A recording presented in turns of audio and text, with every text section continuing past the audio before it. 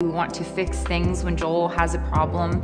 And when I come to him with an issue, he either thinks that he was the cause of the problem or he tries to It's Where to I go to it. first. I'm like sad about something completely unrelated to you. And you're like, what did I not do? my fault. So sad working through that. What we've done is made this practice maybe once a month where we'll open up a journal and I will scribe for Joel. And for however long, he just talks about and speaks out and verbalizes the needs Yeah, we usually in his life. fill about a page Yeah. worth of.